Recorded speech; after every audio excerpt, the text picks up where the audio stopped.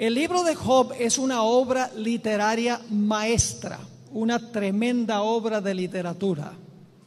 En realidad, junto con Génesis, el libro de Job es el más antiguo de la Sagrada Escritura.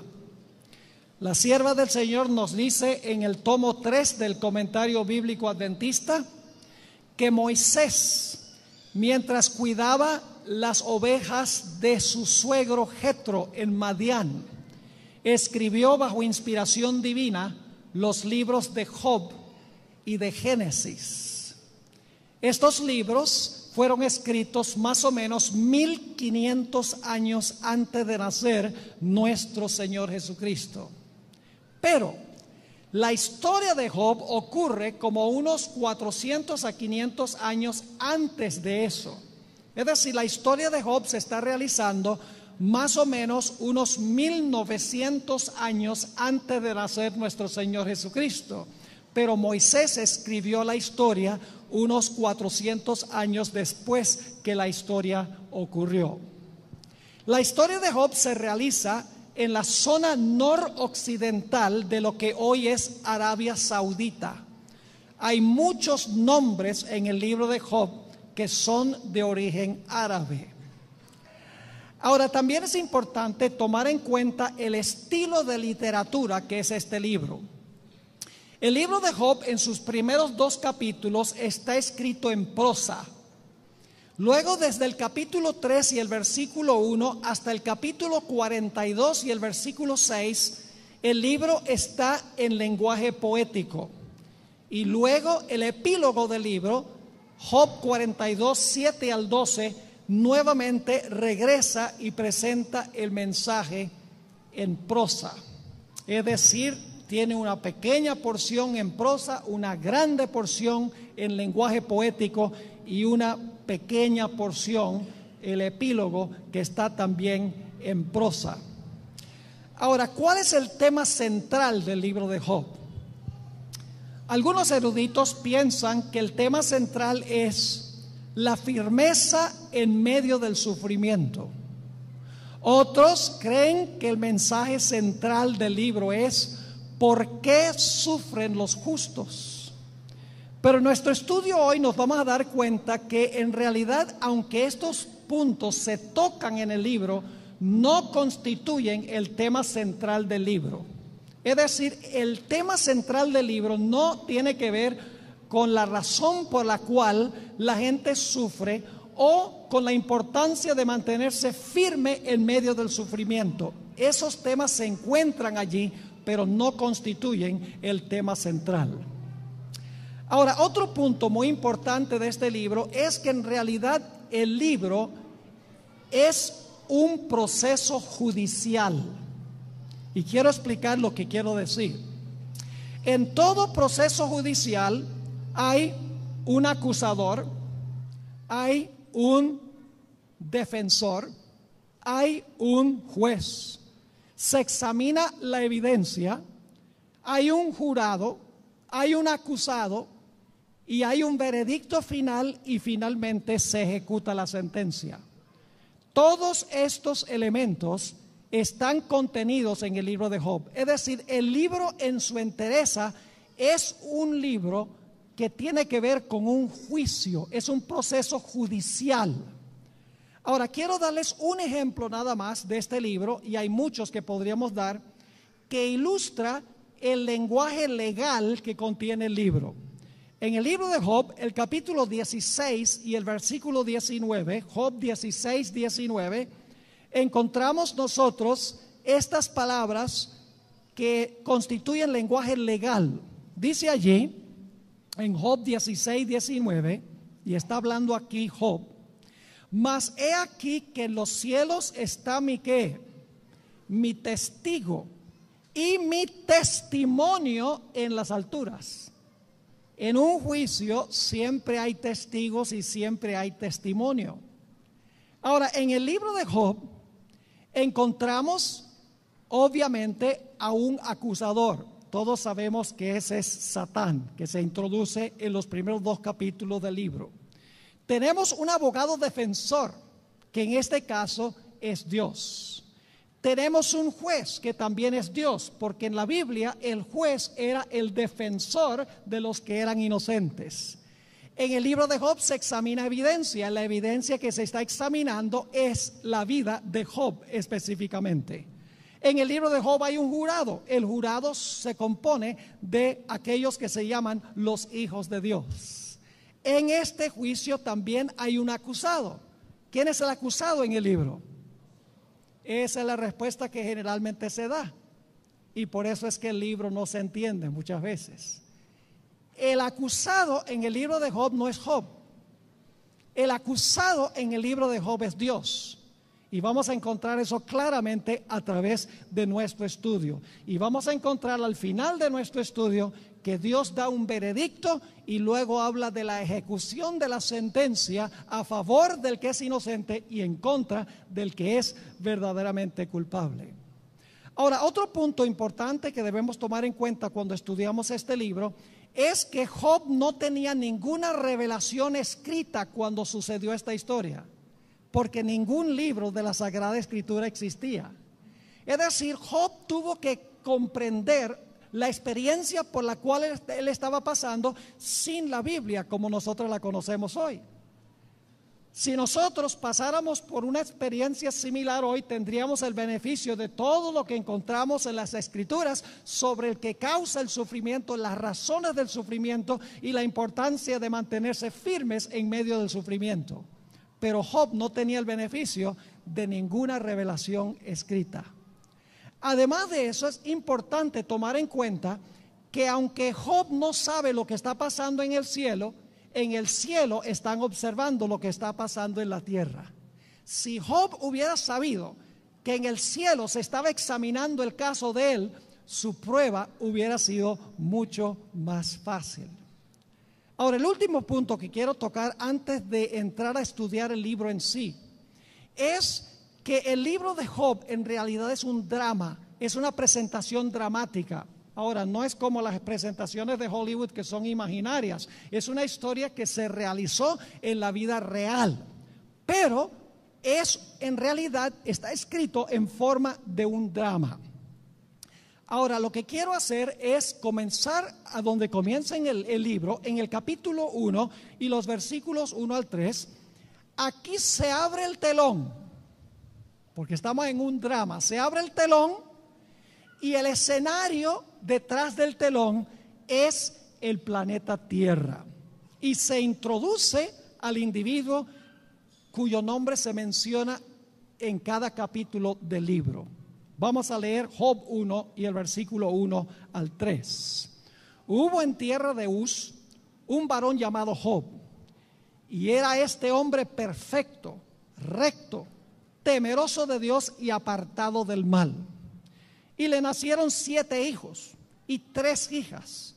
Su hacienda era siete mil ovejas, tres mil camellos, quinientas yuntas de bueyes, quinientas asnas y muchísimos criados. Y era aquel varón más grande que todos los orientales, el hombre más rico y más famoso de toda aquella región. Este pasaje nos dice claramente que Job era un hombre supremamente próspero, era un hombre rico. Pero Job tenía otra característica. No solamente era Job rico, sino que era un rico espiritual, que es una combinación extraña hoy en día. El Señor Jesucristo dijo, difícilmente entrarán los ricos al reino de los cielos. Job era riquísimo, pero era también un hombre supremamente espiritual, era un hombre de familia, un hombre que se preocupaba por el bienestar espiritual de sus hijos.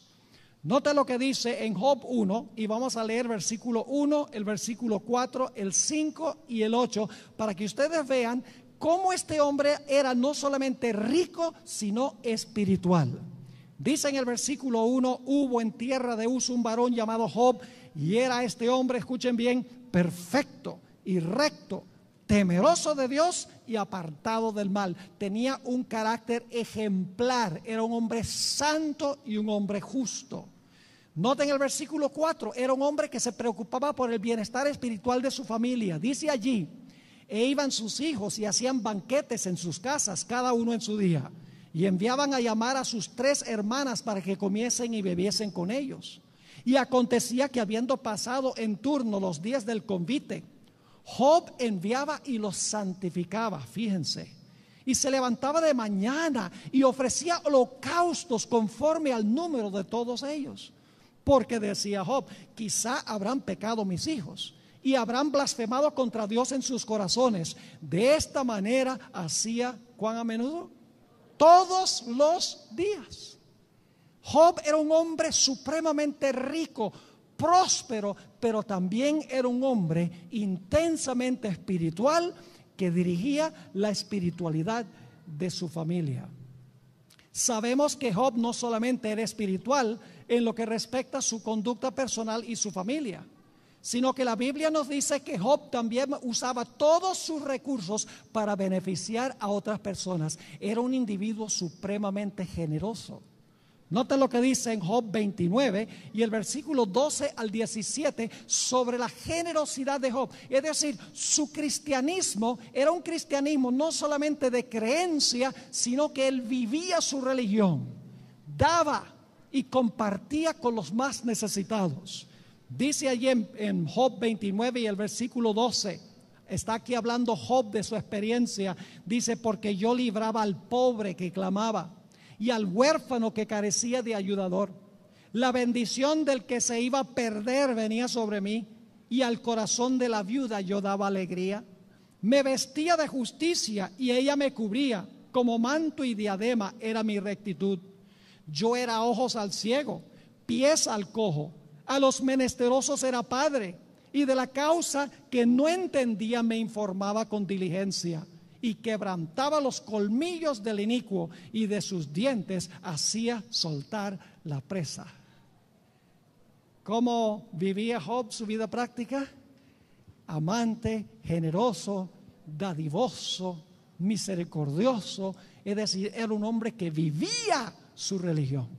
Así que tenemos a este hombre se ha introducido el drama, este hombre supremamente próspero, pero un hombre al mismo tiempo supremamente espiritual, que se preocupaba por el bienestar espiritual de su familia, un hombre que usaba todos sus recursos para beneficiar a los necesitados.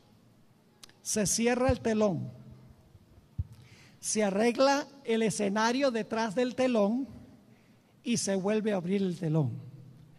Ahora el escenario detrás del telón se encuentra en el cielo. Todas las fichas han sido colocadas allí para lo que va a ocurrir en el cielo. Noten Job 1 y el versículo 6 hasta el versículo 8. Un día vinieron a presentarse delante de Jehová los hijos de Dios. Ahora no tengo tiempo de exponer lo quiénes son los hijos de Dios, pero les voy a decir los hijos de Dios son ángeles poderosos que Dios ha colocado para representar todos los mundos del universo. Es decir, son los representantes de los mundos que nunca pecaron. El Espíritu de Profecía hace eso absolutamente claro. Es el concilio celestial a través del cual Dios gobierna todo el universo. Dios tiene un estilo de gobierno representativo. Es decir, vinieron todos los representantes de todo el universo a esa reunión y fíjense quién viene entre ellos. Dice, un día vinieron a presentarse delante de Jehová los hijos de Dios, entre los cuales vino también quién? Entre los cuales vino también Satanás. ¿Y de dónde venía Satanás? Ah, de la tierra. Versículo 7. Y dijo Jehová a Satanás, ¿de dónde vienes? Respondiendo Satanás a Jehová dijo, de rodear la tierra y de andar por ella. Es decir, vengo de supervisar mi territorio. Ahora yo pregunto, ¿quién fue el representante original del planeta Tierra? Adán. ¿Y por qué fue Satanás a esa reunión? Porque cuando Adán se dio a la tentación de Satanás, Satanás tomó el trono que, Adán originalmente tenía. Por eso Satanás fue representando este mundo, los demás vinieron representando otros mundos. Y ahora me imagino que Dios, con un toque de orgullo sano, le dice a Satanás en el versículo 8, y Jehová dijo a Satanás, ¿no has considerado a mi siervo Job? Es decir, vive en tu terruño, pero es mi siervo.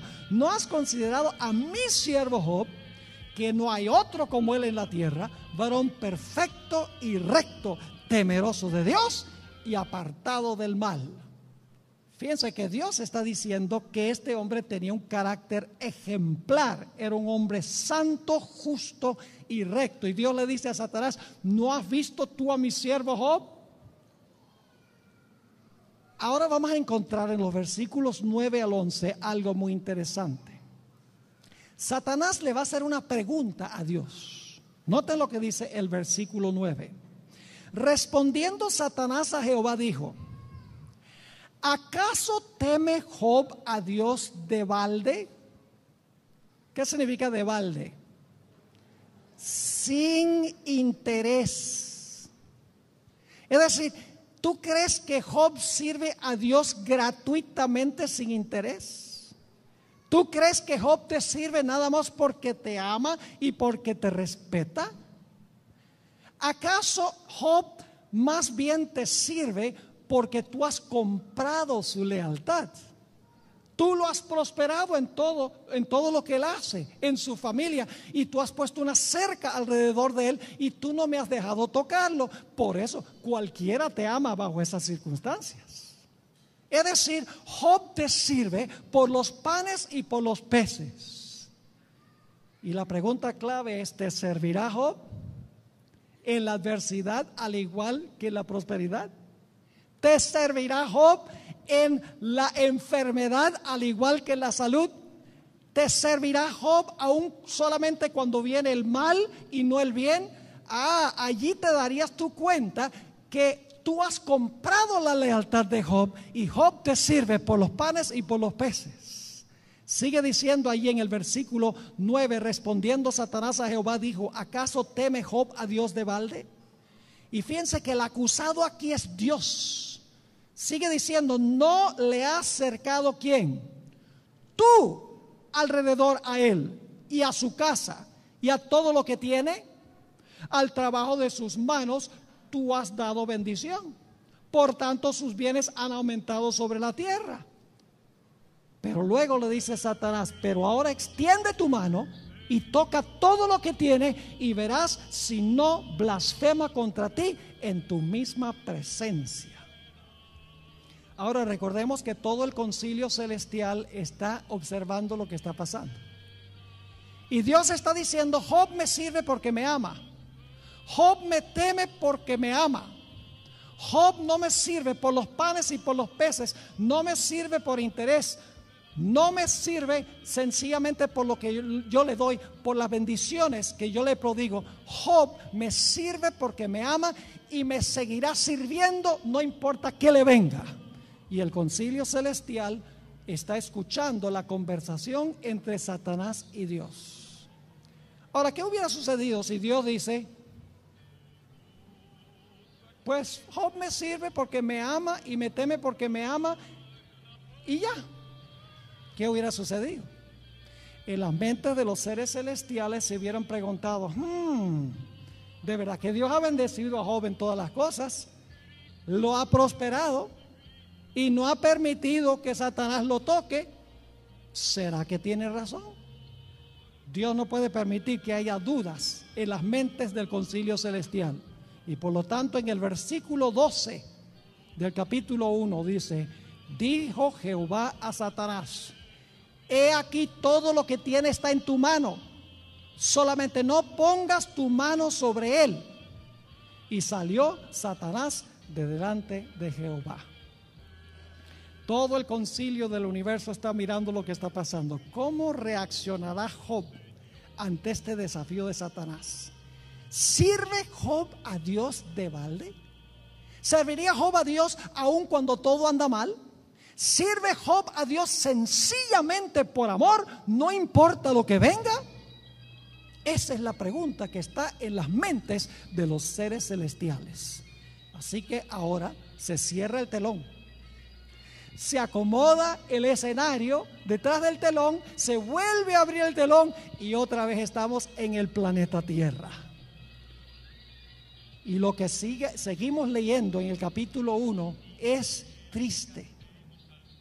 encontramos que nos dice que vienen los sabeos, le roban a Job los bueyes y las asnas y matan a los siervos. Luego cae fuego del cielo y consume a las ovejas y todos los siervos. Luego los caldeos vienen, enemigos de Job, y robaron los camellos y mataron a todos los siervos. Luego viene un viento recio que tumba la casa donde estaban comiendo los hijos y la hijas de Job. Los diez mueren en el acto. Ahora, debo decirles que estas cosas no pasaron, digamos, en cuestión de días o cuestión de meses. Este es un asunto que sucedió una calamidad tras otra. Eso se ve porque cuando cae una, la siguiente calamidad después de una, dice, aún estaba este hablando. Es decir, que lo que hicieron los, los sabeos, el fuego, los caldeos, el viento recio, sucedió en cuestión de solo unos pocos minutos. Y en cuestión de pocos minutos, Job ha perdido todas sus posesiones. Ha perdido sus bueyes, sus asnas, sus ovejas, sus camellos, sus siervos y sus hijos. Básicamente Job ha quedado en cuestión de unos pocos minutos en la bancarrota y todo el cielo está observando. ¿Servirá Job a Dios en la adversidad? Al igual que en la prosperidad. ¿Será que el enemigo tiene razón en decir que Job sirve a Dios por interés, con propósitos mercenarios, porque Dios lo bendice? ¿O será que Job sirve a Dios por puro amor? El cielo está observando a ver quién tiene razón, el acusado que es Dios o el acusador Satanás. La Biblia no nos deja en duda en cuanto a lo que sucedió con Job. En el capítulo 1 y el versículo 20 al 22, capítulo 1 y el versículo 20 al 22, nos dice cómo reaccionó Job ante la pérdida de todo lo que tenía. Dice entonces Job se levantó y rasgó su manto y rasuró su cabeza. Eso es señal de abatimiento. Y se postró en tierra y qué? Y adoró. Y dijo, desnudo salí del vientre de mi madre y desnudo volveré allá. Jehová dio y Jehová quitó. Fíjese, no tenía toda la información. Nada más el 50% de esa declaración era correcta. Dios dio, pero Dios no quitó. Pero según la percepción de Job, de acuerdo a la información que él tiene, en ese tiempo, él cree que Dios es el que le quitó. Pero en realidad dice, Jehová dio y Jehová quitó.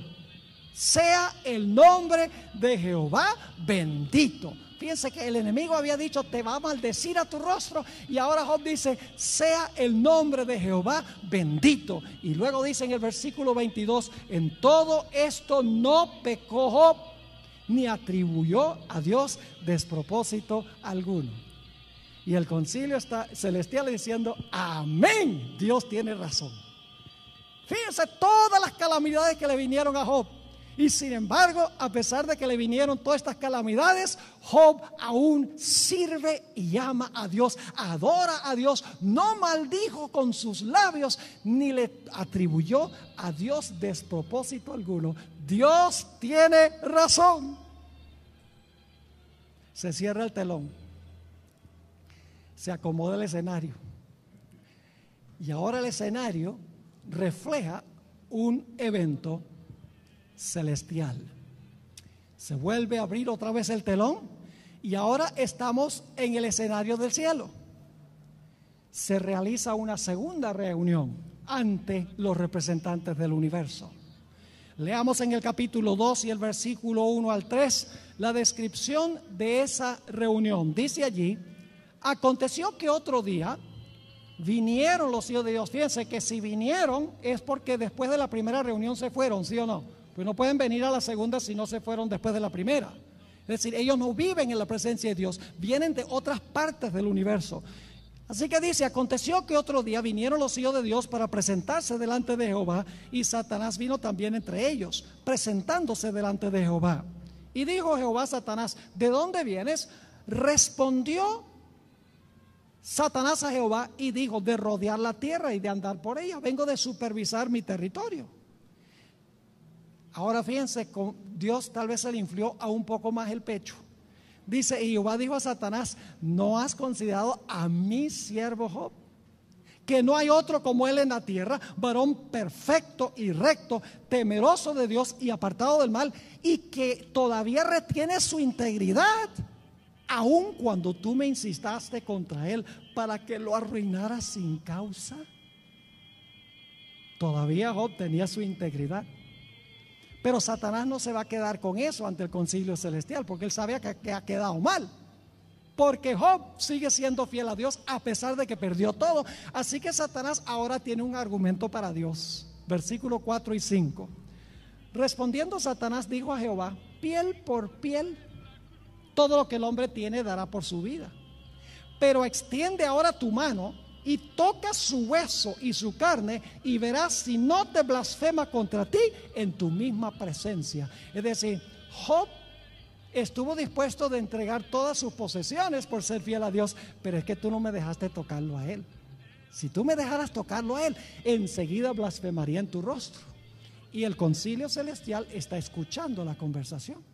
Dice de verdad que Dios le dije, le dijo, no lo toques a él. Ah, ¿Será que Dios tiene algún, eh, algún miedo de que, si, de que si el enemigo lo toca, que Job no va a servir a Dios por amor?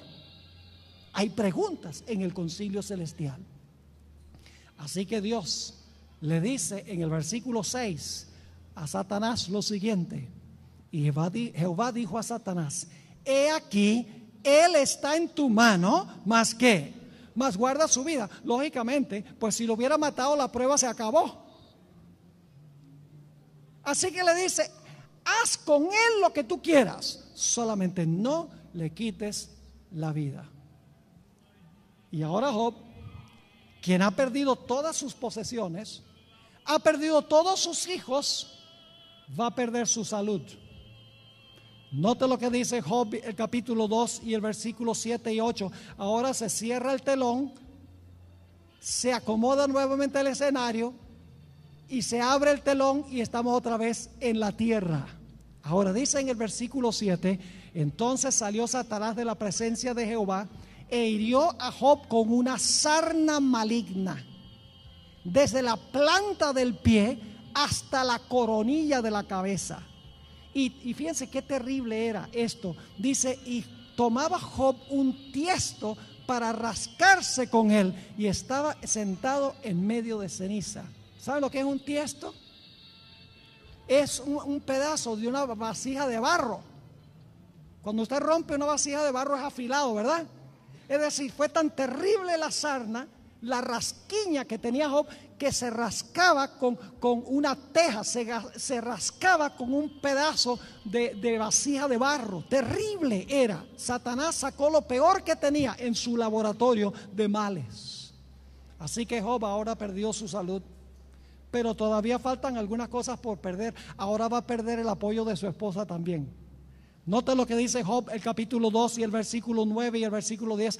La que debería haber sido fiel a él en la enfermedad y en la salud y en la prosperidad y en la adversidad, según los votos matrimoniales, ahora se le va a volcar en contra.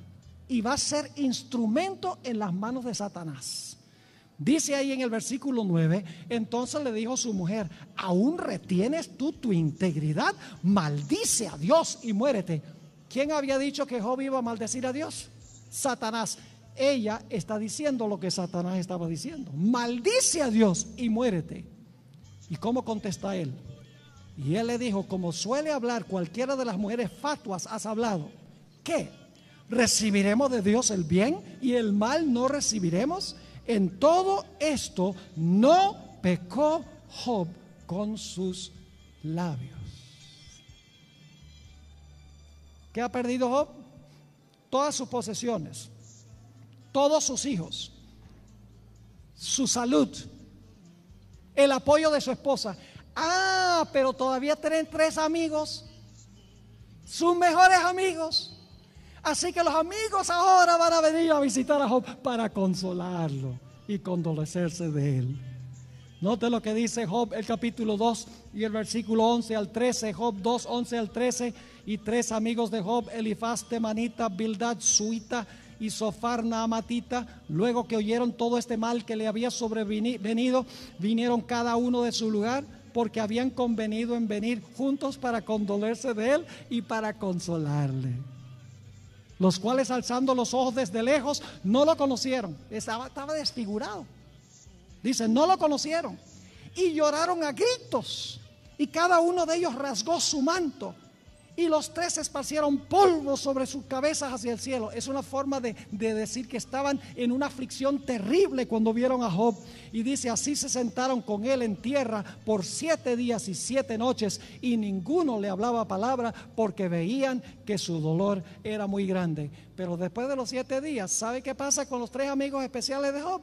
Se tornan acusadores porque en ese tiempo se creía que, la bendición era señal de la aceptación de Dios, mientras que la maldición era la señal del abandono de Dios. Así que los tres amigos le dicen, Job, lo que pasa es que tú eres un grandísimo pecador. Por eso Dios te está castigando. Y Job dice, no, yo conservo mi integridad.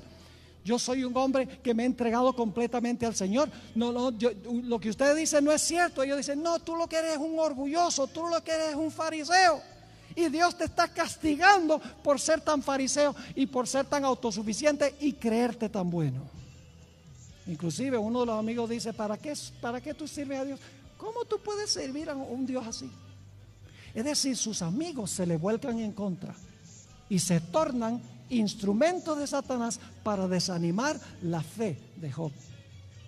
¿Qué es lo que ha perdido Job? Ha perdido todas sus posesiones materiales ha perdido sus siervos, ha perdido sus hijos, ha perdido su salud, ha perdido el apoyo de su esposa y ha perdido a sus amigos. Pero ahora se va a sentir que ha perdido su mejor amigo. Porque el mejor amigo de Job era Dios.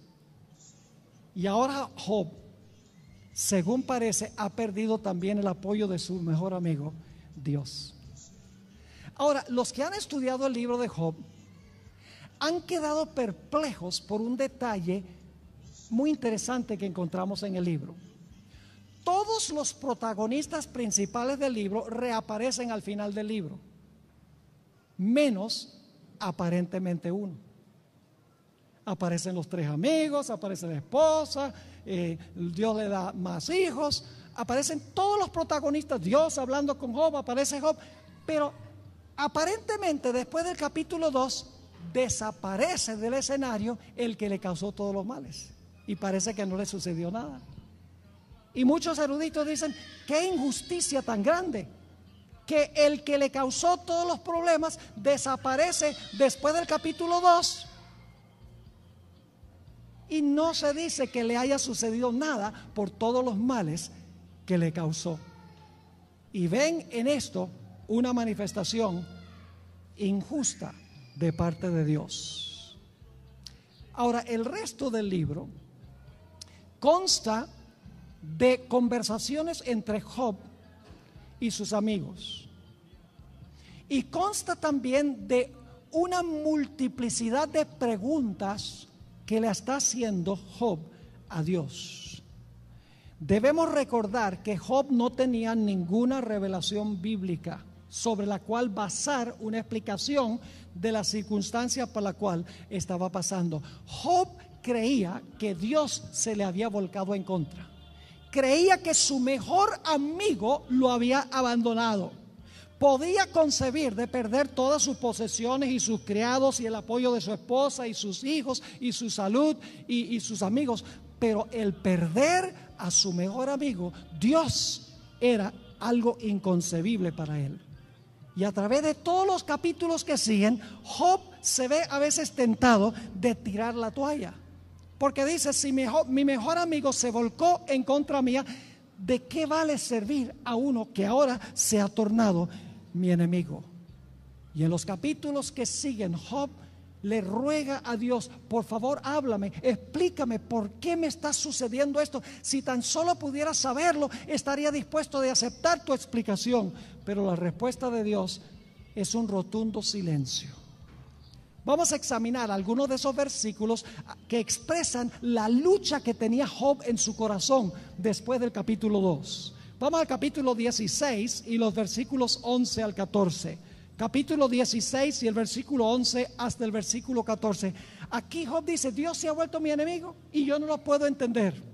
Dice allí, Job, Dios me ha entregado al mentiroso y en las manos de los impíos me hizo caer.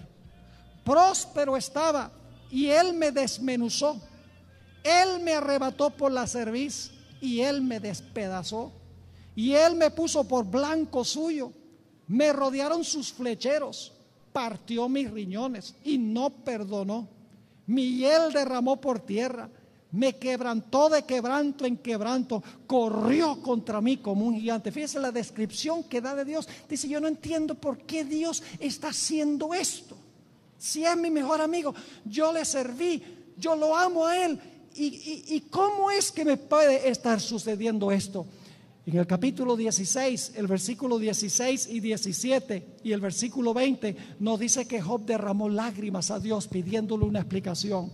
Dice allí Job, mi rostro está inflamado con el lloro y mis párpados entenebrecidos. A pesar de no haber iniquidad en mis manos y de haber sido mi oración pura. Y el versículo 20, disputadores, está refiriéndose a sus amigos. Disputadores son mis tres amigos, mas ante Dios derramaré mis lágrimas. Job está llorando y clamando a Dios, ¿por qué te has volcado en contra mía? Puedo concebir de perder todo, todo apoyo material y todo apoyo humano, pero ¿por qué razón te has volcado en contra mía? Clama a Dios, pero aparentemente Dios no oye. Noten Job 19 y el versículo 6 y 7, Job 19 y el versículo 6 y el versículo 7, dice Job, sabed ahora que Dios me ha derribado y me ha envuelto en su red. He aquí yo clamaré agravio y no seré oído. Daré voces y no habrá juicio. Job está diciendo, estoy clamando a Dios, no hay juicio, no hay justicia, no me está escuchando. Note lo que dice los versículos 9 al 11. Nuevamente Job hablando de cómo se le volcó en contra a Dios aparentemente. Dice, me ha despojado de mi gloria y quitado la corona de mi cabeza.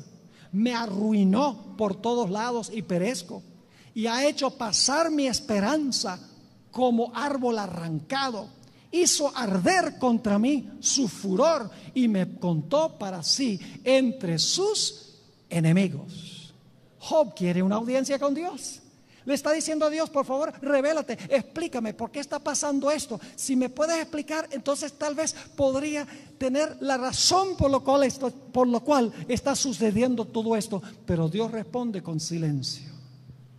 Noten Job 23 y el versículo 3 al 9. Aquí Job pide una audiencia con Dios. Le dice a Dios, déjame ir a tu trono y hablar. Yo estoy seguro que tú verías y entenderías mi punto de vista. Dice en Job 23 y el versículo 3, ¿quién me diera el saber dónde hallar a Dios? Yo iría hasta su silla.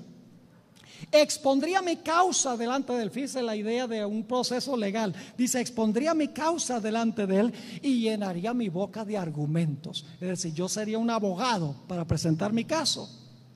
Yo sabría lo que él me respondiese y entendería lo que me dijera. ¿Contendería conmigo con grandeza de fuerza? No antes él me atendería. Allí el justo razonaría con él y yo escaparía para siempre de mi juez. He aquí yo iré al oriente y no lo hallaré, y al occidente y no lo percibiré. Si muestra su poder al norte, yo no lo veré. Al sur se esconderá y yo no lo veré. Es decir, Job está diciendo, yo lo estoy buscando en todas partes y no lo encuentro. No entiendo lo que está sucediendo. En Job el capítulo 30 encontramos, estoy solamente escogiendo algunos versículos para que puedan captar el sabor de, la situación de Job. Job 30 y el versículo 20 y 21 dice Job, clamo a ti, está hablándole a Dios, clamo a ti y no me oyes. Me presento y no me atiendes. Te has vuelto cruel para mí. Con el poder de tu mano me persigues, dice Job. En el capítulo 30 y el versículo 9 al 13, Job dice, hasta las naciones circundantes se reunieron alrededor mío y se mofan de mí y se han volcado en mi contra. Dice ahí en el versículo 9, y ahora yo soy objeto de burla y les sirvo de refrán. Me abominan, se alejan de mí. Aún de mi rostro no detuvieron su saliva, hasta le escupieron en la cara, dice esto. Porque Dios desató su cuerda y me afligió. Por eso se desenfrenaron delante de mi rostro. Mi senda desbarataron, se aprovecharon de mi quebrantamiento y contra ellos no hubo ayudador. ¿Sienten un poco la frustración de Job? ¿Por qué? ¿Por qué? ¿Por qué? Explícame, háblame. La respuesta de Dios, un rotundo silencio. Job dice, si yo pudiera ir a tu trono, tú verías que yo soy inocente. Noten Job 31 y el versículo 5 y 6. Job 31 y el versículo 5 y 6 dice Job hablándole a Dios, si, anduve con mentira y si mi pie se apresuró a engaño, Péseme Dios en balanzas. Fíjese la idea del juicio, porque el juicio se hacía en balanzas en la antigüedad. Dice, péseme Dios en balanzas de justicia y conocerá qué cosa, conocerá mi integridad.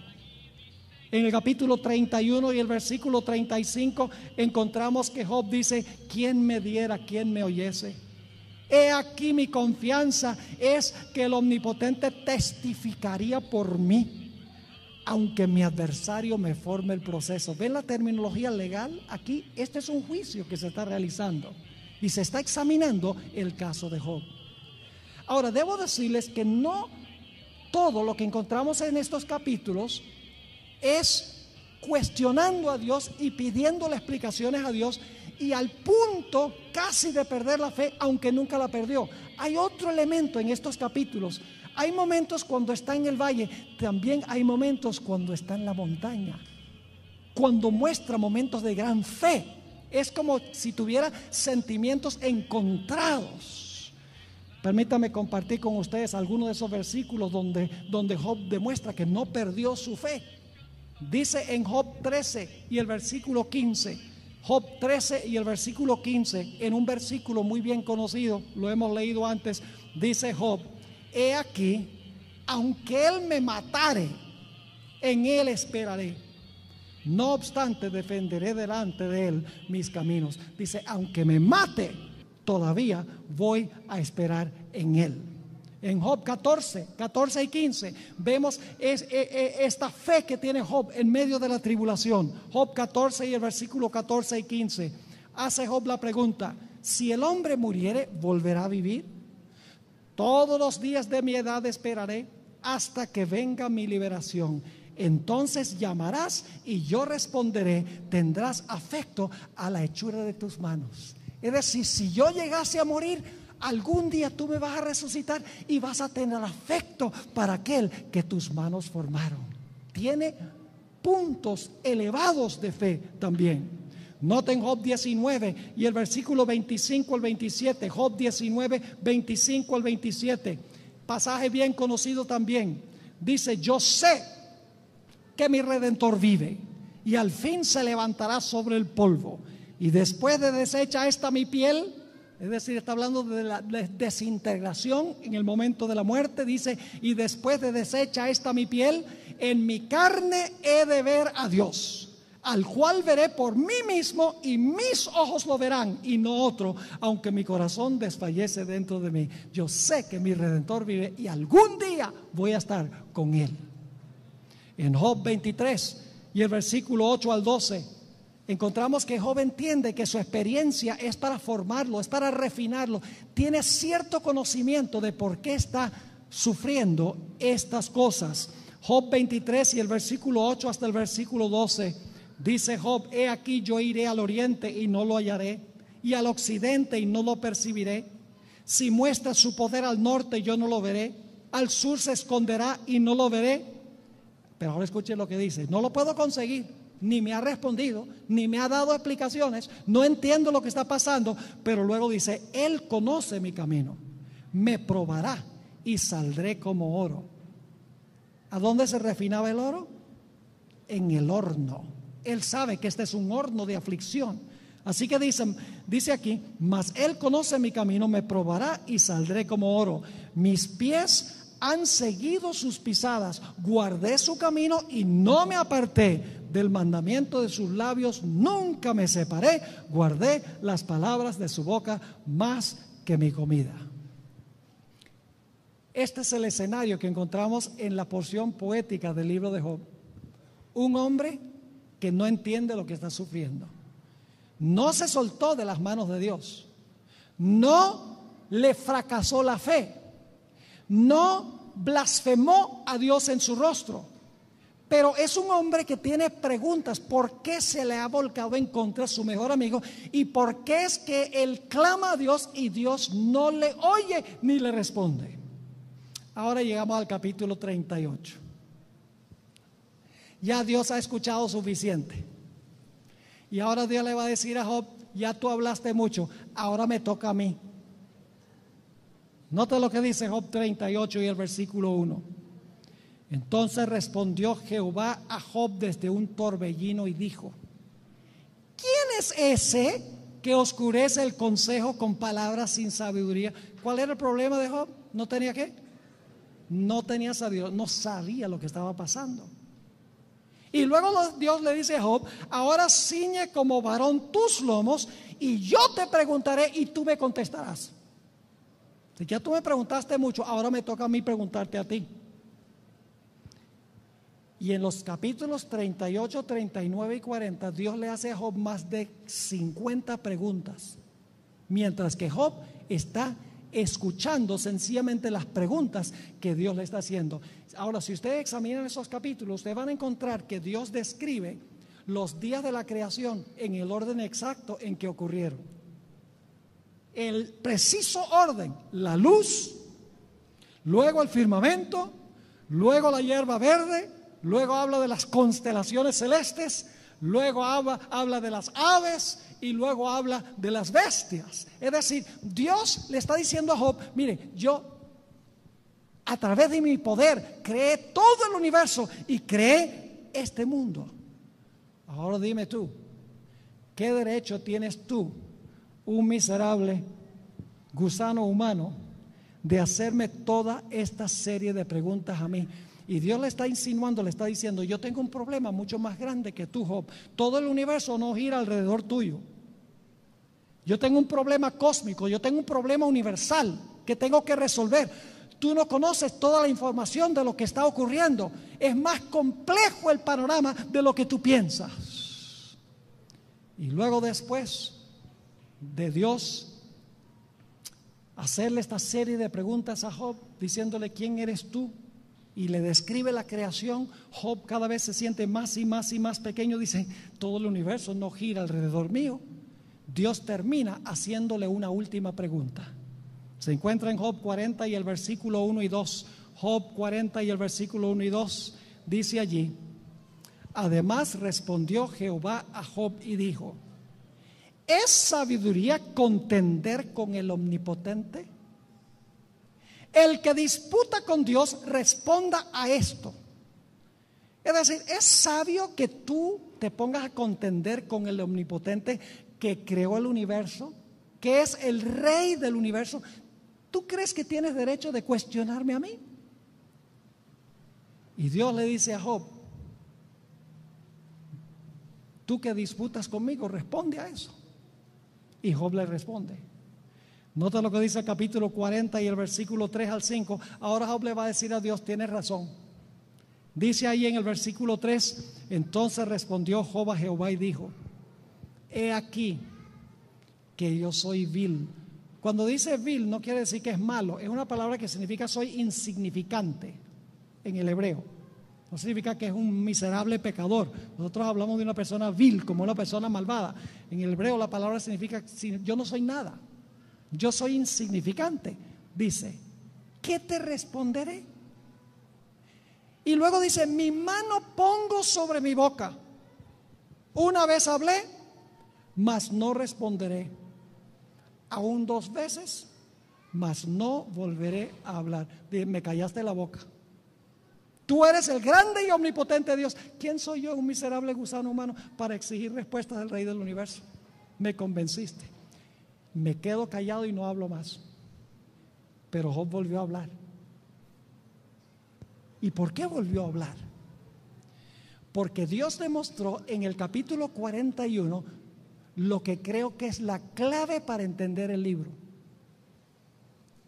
Satanás no desaparece del libro después del capítulo 2. Satanás reaparece al final del libro, pero reaparece con otro nombre. Ya no se llama Satán, sino que se llama Leviatán. Y cuando Dios menciona a Leviatán, ahora de repente se le abren los ojos a Job y dice, Leviatán, porque Job hubiera entendido quién era el Leviatán. Porque en el círculo cultural donde él vivía, los que no servían al Dios de la Biblia creían que había un enemigo de los dioses que se llamaba Lotán, que era un monstruo y que ese monstruo vivía en enemistad perpetua con los dioses. Ahora, Job no era polígamo, es decir, Job no creía en lo que creían ellos, pero hubiera entendido que Leviatán en su cultura significaba el enemigo de Dios. Y ahora empieza a decir, ah, ¿será que lo que me está pasando no es por parte de Dios, sino que es por parte de Leviatán, el adversario? Ahora, quiero leerles algunos versículos para que ustedes vean quién es este Leviatán. Job 41 y el versículo 1 al 4. Job 41 y el versículo 1 al 4. Dios desafía a Job y le dice, ¿sacarás tú al leviatán con anzuelo? ¿O con cuerda que le eches en su lengua? ¿Pondrás tu, soga en sus narices y horadarás con garfio su quijada? ¿Multiplicará el ruegos para contigo? Decir, te va a rogar que no lo tomes como presa. Dice, te hablará el lisonjas hará pacto contigo para que lo tomes por siervo perpetuo. Es decir, tú vas, a convertir a Leviatán en tu siervo, ni lo creas. Vamos al versículo 18 al 20 por, por la premura del tiempo. Este Leviatán es una criatura, un dragón que exhala fuego. No es un animal común y corriente. Fíjense lo que dice el versículo 18. Hablando de Leviatán, dice, con sus estornudos enciende lumbre y sus ojos son como, los párpados del alba. De su boca salen hachones de fuego. Es un dragón que respira fuego, según esto. centellas de fuego proceden. De sus narices sale humo como de una olla o caldero que hierve. Su aliento enciende los carbones y de su boca sale llama. Es un dragón que exhala fuego, según esto. Vamos a los versículos 24 hasta el versículo 27. Habla sobre la invencibilidad de Leviatán. Dice allí, su corazón es firme como una piedra, es decir, tiene un corazón de piedra y fuerte como la muela de abajo. Está hablando de la piedra de molino. De su grandeza tienen temor los fuertes y a causa de su desfallecimiento hacen por purificarse cuando alguno lo alcanzare, ni espada, ni lanza, ni dardo, ni coselete durará. Estima como paja el hierro y el bronce como leño podrido. Es decir, el leviatán es una criatura invencible para cualquier ser humano. Ahora, ¿quién es este leviatán? La clave se encuentra en el versículo 33 y 34 del capítulo 41. Dice, no hay sobre la tierra quien se le parezca. Animal hecho que exento de temor. Menosprecia toda cosa alta. ¿Qué sería toda cosa alta? Dios y los seres celestiales. Y luego, ¿sobre quién es rey? Dice, es rey sobre todos los soberbios. ¿Quién es el rey sobre todos los soberbios? Satanás. Y usted dice, pero pastor, eso no prueba absolutamente, nada más porque diga que menosprecia toda cosa alta y es rey sobre todos los soberbios, no significa necesariamente que está hablando de Satanás. Eso sería cierto, al menos que tuviéramos un par de versículos más. Vamos a Isaías 27 y el versículo 1. Isaías el capítulo 27 y el versículo 1 para ver quién es este leviatán, a ver si es nada más un animal, una criatura, un dragón. Dice ahí en Isaías 27 y el versículo 1, en aquel día Jehová castigará con su espada dura, grande y fuerte, al leviatán. ¿Y luego qué dice? Hmm, ¿Quién es leviatán? la serpiente, pero hay más. Dice, al leviatán serpiente veloz y al leviatán serpiente tortuosa y matará al dragón que está en el mar. ¿Quién es Leviatán? La serpiente y el qué? Y el dragón. Ahora necesitamos ir a Apocalipsis 12 para tener el panorama completo. Apocalipsis 12 y el versículo 7 al 9. Fíjese que, que, Job ahora está entendiendo lo que no entendía antes. Mis males no están siendo causados por Dios, es por Leviatán, el enemigo. Y Dios es el único que se puede encargar de él. Dice en Apocalipsis 12, 7, después hubo una gran batalla en el cielo. Miguel y sus ángeles luchaban contra quién? Contra el dragón. Y luchaban el dragón y sus ángeles, pero no prevalecieron ni se halló ya para lugar para ellos en el cielo. Y fue lanzado fuera el que? El gran dragón, ahí está una de las palabras que se usan para describir al leviatán. Y luego dice, ¿qué más? La serpiente antigua, ahí está el, el segundo término que se usa en Isaías 27, pero ahora escuchen, dice que se llama diablo y qué? ¿Cuál era el nombre que se le dio a este enemigo en Job 1 y 2? Satanás. ¿Reaparece Satanás al final del libro, sí o no? Claro que reaparece, pero reaparece con otro nombre. Y Dios le está diciendo a Job, mire, el problema que yo tengo es mucho más grande que el problemita tuyo.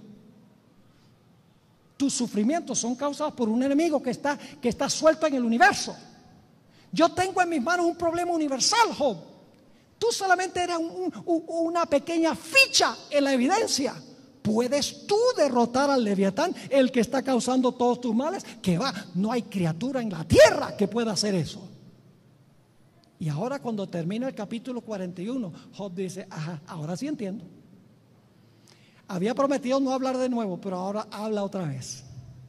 Note lo que dice en Job 42 y el versículo 1 al 6, ya llegando al final de nuestro estudio. Job 42, 1 al 6.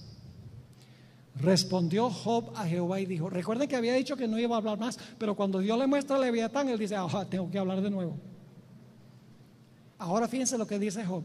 Yo conozco que todo lo que, inclusive hacer qué cosa, en el contexto, ¿qué puede hacer Dios? Derrotar a quién? A Leviatán.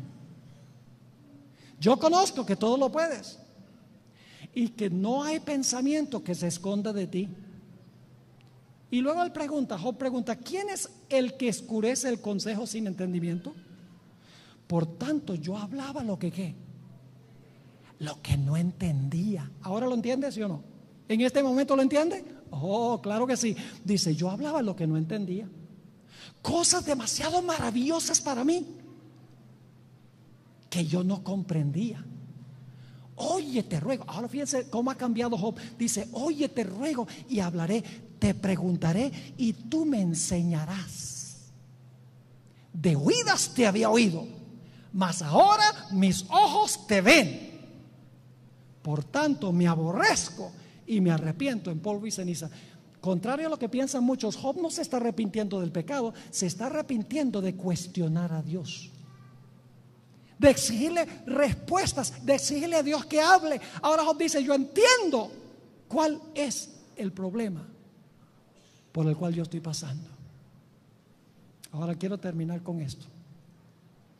Según la Sagrada Escritura, la historia de Job se va a repetir de nuevo.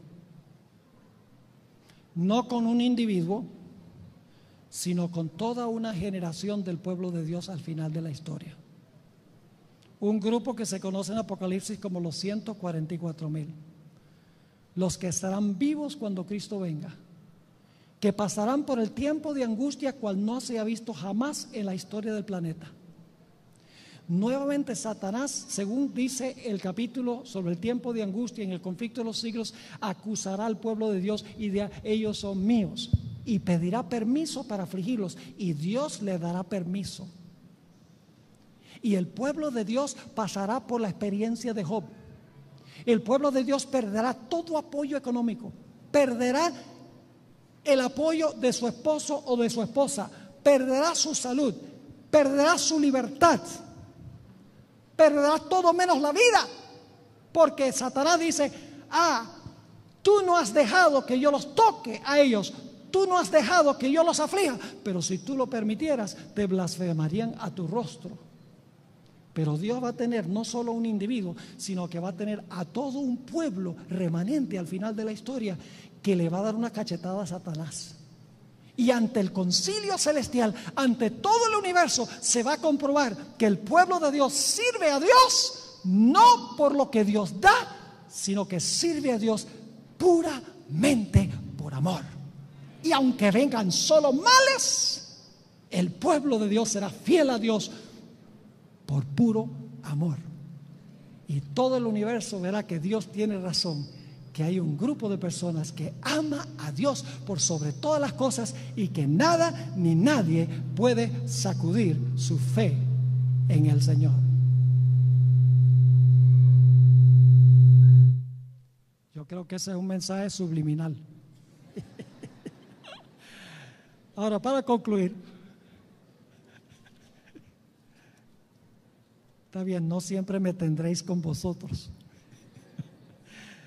Quiero terminar de leer, para terminar, el pasaje que fue nuestra lectura bíblica, lamentablemente se concluyó en el versículo 9. Yo había mencionado hasta el 11. Pero vamos a leerlo. Santiago,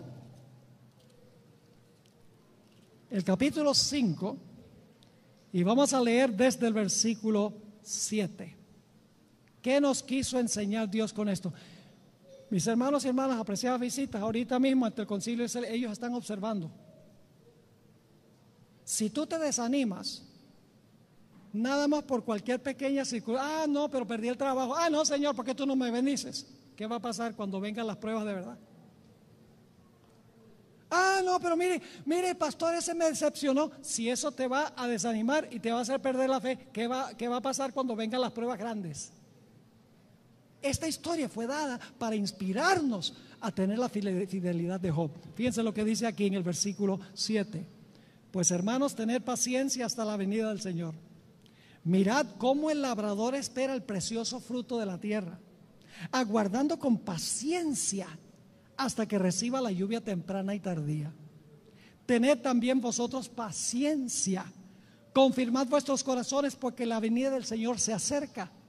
Hermanos, no os quejéis unos contra otros, porque no seáis condenados. He aquí, el juez está delante de la puerta. Y ahora vienen los versículos que no se leyeron.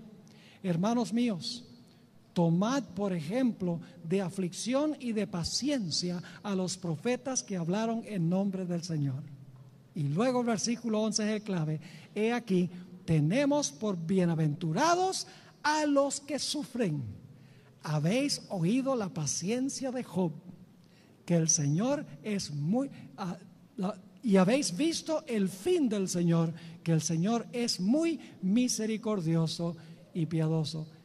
Al final de la historia, ¿sabe lo que pasó con Job? Recibió el doble de lo que tenía antes. Yo pregunto, después del sufrimiento y la aflicción del tiempo de angustia, ¿qué va a suceder con el pueblo de Dios? Va a ser prosperado doblemente conforme a lo que eran antes hermanos y hermanas, espero que al haber estudiado esta historia, que haya sido motivo de ánimo para nosotros. Debemos grabar estas historias porque las vamos a necesitar cuando vengan las pruebas grandes en nuestra vida personal y en aquel tiempo de angustia que jamás se ha visto en la historia de este mundo. Oremos, Padre, te damos gracias porque nos has dejado esta magnífica historia, no solamente como un relato, para entretenernos, sino para inspirarnos a tener la fidelidad que tuvo Job.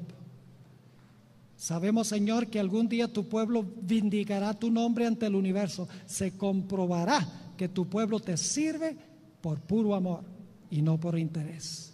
De esa manera Satanás quedará derrotado y tú quedarás vindicado ante el universo. Nosotros queremos vindicarte, Señor. Gracias por habernos acompañado. Y gracias Señor por consolarnos con tu palabra, porque te lo pedimos en el nombre de Jesús. Amén.